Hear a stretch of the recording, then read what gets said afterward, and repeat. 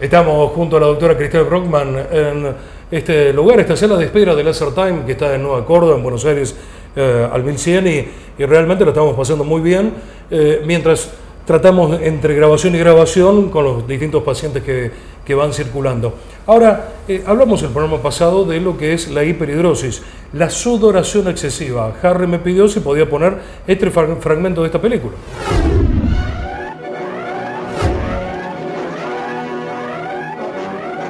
Hacia la derecha, haga la corrección.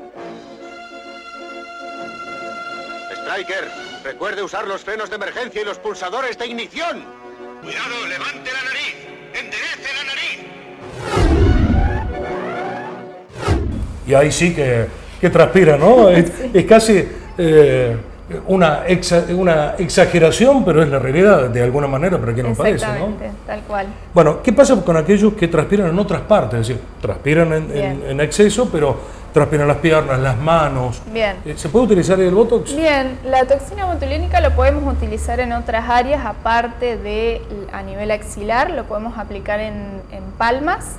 Se puede aplicar, hay algunas personas que transpiran mucho la zona de la frente, se pueden hacer algunas microinyecciones sin ningún problema, a nivel de plantas de pie también. Mira vos, eh, la toxina botulina, eh, botulínica actúa eh, paralizando los músculos donde se coloca.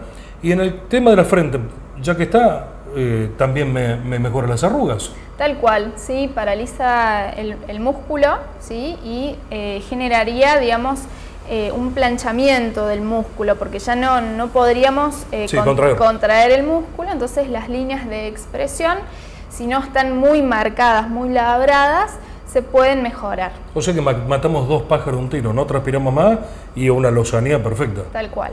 Eh, ¿Por qué se produce? ¿Hay, hay alguna ¿Alguna cuestión científica que demuestre por qué pues, se produce esto? Hay un aumento de la descarga simpática ¿sí? a nivel de eh, la conexión nerviosa con la glándula sudorípara.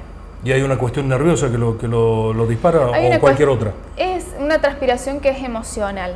¿sí? Frente a algún estímulo emocional, el paciente transpira. Algún, qué sé yo, estando en algún e, examen, eh, a alguna persona que le genere algún tipo de de vergüenza, de timidez.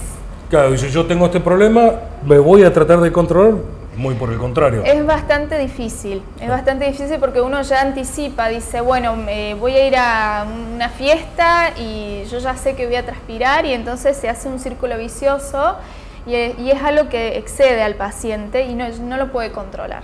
Es que bueno, el próximo programa que estemos juntos hablamos de esta eh, posibilidad que tienen los hombres para evitar la caída del cabello? Tal cual.